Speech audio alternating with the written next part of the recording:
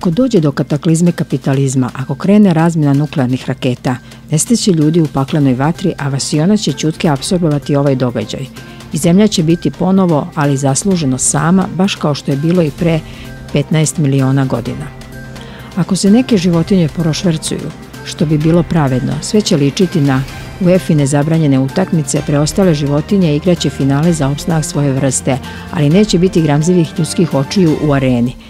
Na ovome navodi podatak da su posle atomske bombe koje su Sjedinje američke države bacile na Hirošimu biljke pametno iskoristile radijaciju.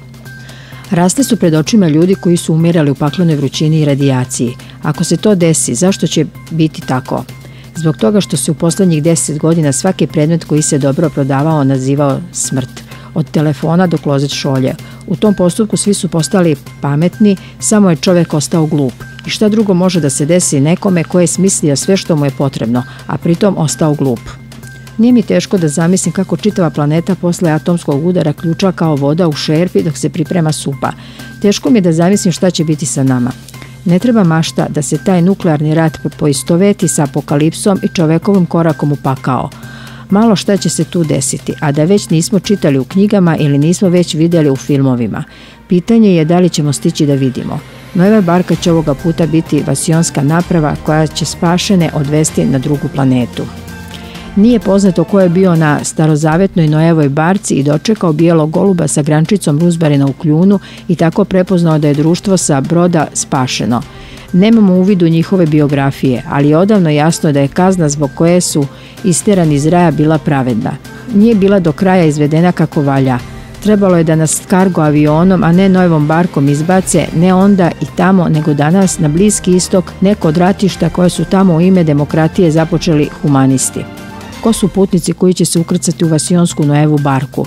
Predstavnici elite, isti ljudi, perveznjaci koji sve čine danas da se desi nuklearni rat. Oni koji nas finansijskim špekulacijama voze na kraj. Dok iz Vasionskog broda budu bacali pogled na majku zemlju, perveznjaci će krivicu prebaciti na čitav ljudski rod i kroz suze konstatovati da je tako moralo biti. Najteže mi pada što će izgleda jedino na kraju elita koja je proizvodila brutalnu istoriju imati koriste od pruhujalih vijekova i blistavih trenutaka nauke, umetnosti i velikih nadahnuća. Istini na volju, na kratko, pošto će na tom drugom svijetu učiniti istu grešku. Ali ako dođe ta propast, neka bude, kako kaže jedna pesma, nije šteta. Kada predstavnici elite slete tamo gde treba, oni će i život na novoj planeti početi do kraja zbog toga što u Vasionskoj Nojevoj bajici neće biti indijanaca koji su shvatili prirodu svoje planete i nisu joj posmatrali kao vlasništvo. Tu je možda iskazana i najveća zabluda čovečanstva. Zemlja posjeduje nas, a ne mi zemlju. Svi na kraju legnemo u njen zagrljaj. Zato ne treba unaprijed tugovati za takvim spasom. Ništa roba, jer čovek ipak ne može započinjati život sa kraja. Onaj koji je uništio ratnom ekonomijom jednu planetu, uništit će i drugu. Piše portal iskra.com.